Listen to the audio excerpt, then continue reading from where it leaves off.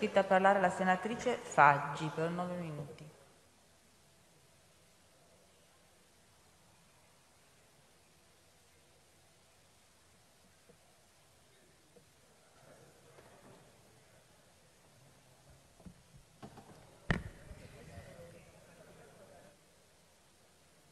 Quale che è stato disinfettato? Per cui posso togliere la mascherina? Grazie.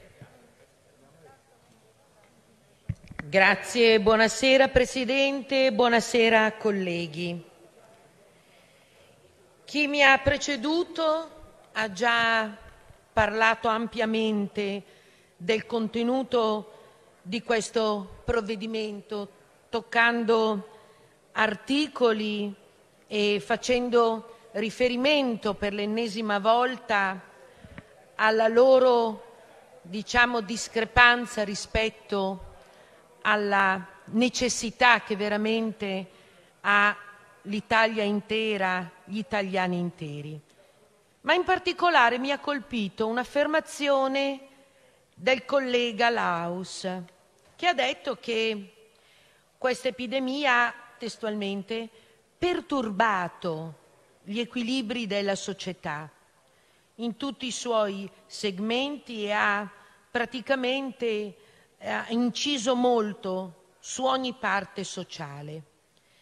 Ha anche parlato dicendo che c'è comunque una visione di questa maggioranza. A me spiace doverlo ripetere, però se questa maggioranza avesse una visione, cioè secondo me ha la stessa visione e la stessa delicatezza di partecipazione e nell'ascolto, dei colleghi senatori di minoranza che rappresentano pur sempre una fetta anche abbastanza copiosa di italiani. E io contavo più di 25-30 senatori con le spalle anche rivolte eh, molto garbatamente mentre parlano i colleghi. Ci sono, se avete questa delicatezza, questa visione, questa delicatezza nei confronti degli italiani che voi con i vostri decreti pensate di poter, eh, tra virgolette, accontentare, dovreste prima di tutto dimostrarlo in quest'Aula. Dovreste essere tutti presenti, ascoltare le rimostranze di quello che vi è stato detto in questi tre ore passa di intervento, da tutti coloro che puntualmente vi hanno fatto presente quali sono articoli che sono degli spizzichi, dei mozzichi rispetto alle reali esigenze. E invece la stessa, io ripeto e lo dico anche a chi magari mi sta seguendo, la stessa delicatezza che questa maggioranza ha con noi, l'ha con voi italiani. Per cui questa è la mia premessa e mi sembra una premessa importante a cui aggiungo altre notizie che stamani leggevo mentre ero in treno ed erano notizie freschissime, notizie del ministro Costa e notizie del ministro Gualtieri e che si rifanno comunque al contenuto e alla situazione che attualmente stiamo vivendo. Il ministro Costa, visto che è eh, su tutti i giornali il disastro idrogeologico che sta capitando in più regioni, fa riferimento al fatto che è molto ottimista, molto ottimista perché i fondi ci sono. Ci sono 7 miliardi, sono in cassa. Però c'è un problema piccolo, una cosa da niente. C'è il semplificazioni che sicuramente romperà tutti i lacci, lacciuoli di natura amministrativa e burocratica. E ehm, il problema è che questo decreto però è di agosto e prima che sia tecnicamente mh, usufruibile eh, c'è una ricaduta materiale, ci sono tempi di operatività, però lui è ottimista che prima o poi possiamo usarlo. Questa cosa mi ha lasciato un po' lì perché ho detto intanto che cadono le case, i ponti, e tutto quanto, si poteva fare qualche cosa, si poteva cominciare veramente a snellire la burocrazia cominciando da forse quella che è la riforma più importante su cui poi fa da volano e vertono tutte le altre situazioni, che è il codice degli appalti, ma è lì fermo a fare muffa alla ottava commissione. E pazienza. Naturalmente gli fa eco il ministro Gualtieri, sempre intorno alle 10.35. Ci sono le, le cartelle esattoriali e l'hanno detto, stava scadendo, però non c'è problema. Abbiamo parlato con l'Agenzia delle Entrate e le notificheranno, le manderanno gradualmente. E questa è una notizia che rassicura perché lui è fiducioso ed è anche fiducioso sul Recovery Fund. Penso che possa essere operativo all'inizio del 2021. Penso, sono fiducioso, che l'Italia sia pronta col suo piano. Le ricerche però dovrebbe cercare di collegare quello che invece ha detto il suo Premier Conte, che ha detto se non siamo pronti col piano andiamo a casa. Però lui è fiducioso, meno fiducioso è Conte, diciamo un pochino più realista perché sarebbe veramente difficile. Però c'era un'altra piccola notizia che diceva se non sarà proprio nel 2021, ci spostiamo un momentino in là e arriviamo al 2022. Per cui l'importante oggi, davanti a quello che ci è stato detto a più riprese, e non, non, erano lamentele, tutta gente di eh, partiti diversi che ha elencato puntualmente quali sono le cose che non andavano bene. D'altronde basta vederci, siamo qui con l'ennesima fiducia.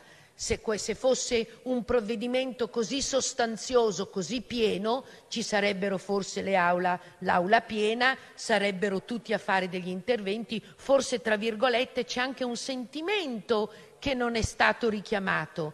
La vergogna, perché un conto è andare di fretta, spicciarsi, muovere, semplificare, sburocratizzare. Un conto invece è arrivare di corsa e dover ricorrere alla fiducia, con un provvedimento che guardato nel suo, nel, nel, nel, analizzato bene, ha poco a che fare con l'emergenza, perché ci sono delle cose che sono, diciamo, eh, delle piccole situazioni che vanno a tamponare e che tra tre mesi si ripresenteranno. Ma quando andremo a chiedere i soldi, andrete a chiedere i soldi, vi chiederanno le riforme. E le riforme non possono essere dieci righe con gli schemi ehm, eh, pre- prestampati, le riforme hanno bisogno di contenuti e i contenuti devono avere un valore talmente pesante da giustificare l'uscita di oltre 100 miliardi, oltre a quello che siamo già indebitati, e ulteriori 200 miliardi che dovrebbero servire a rimettere in piedi questo Paese Prova ne sia che il provvedimento si chiamerà resilienza, il piano nazionale di resilienza, di rinnovazione, ma soprattutto di resilienza, perché è questo che chiediamo agli italiani. Resistete, resistete, perché intanto noi qui in qualche maniera, fiduciosi e ottimisti, cercheremo di mettere a posto qualche cosa. La semplificazione significa anche coraggio e non avere paura. Semplificare non significa essere superficiali, significa mettere veramente nelle condizioni le imprese, tutti i segmenti commerciali, artigiani, tutto, non sto qui ad indicarle, dalla sanità al commercio, all'industria, ai trasporti, di, di, di avere veramente delle norme che possono essere applicate subito, perché poi una volta che abbiamo finito, dovranno fare un corso per cercare di capire quali all'interno di questi plichi devono applicare perché è tutto un copia e incolla. Se fosse però così semplice, ehm, così eh, non semplice, se fosse così ehm, preoccupante, eh, io eh, mi farei una domanda, perché è così preoccupante snellire, abbiamo così eh, paura che magari tra le pieghe possa annidarsi la malavita e tutto, allora faccio questa domanda, la rivolgo alla Presidente e la rivolgo a tutti voi. Se corrisponde alla verità, se corrisponde alla verità, che eh, noi abbiamo così paura di semplificare partendo dal codice degli appalti, che è una materia che mi sta molto a cuore, Però se è vero che qua, qua dentro, qui, qui, in una procedura semplificata, veloce, senza lacci lacciuoli, si sia dato ehm, in tre diversi eh, contratti a una ditta di Cerignola, la Cerichem Biofarm, che oltre ad avere anche dei problemi con il fisco, Agenzia delle Entrate, eh, tre contratti. Uno il 5 marzo per 270 taniche da 5 litri di gel disinfettante, 50 flacconi da 500 ml con dosatore. Un secondo accordo un mese dopo per 12.000 euro per 25.000 litri di gel disinfettante.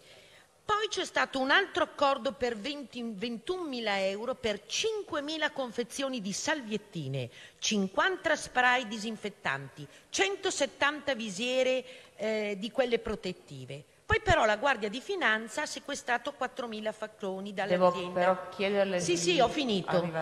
Non- perché non era in possesso dell'autorizzazione della comunità europea, né quella del ministro Speranza. Non poteva nemmeno essere messa in commercio. Allora, due pesi e due misure.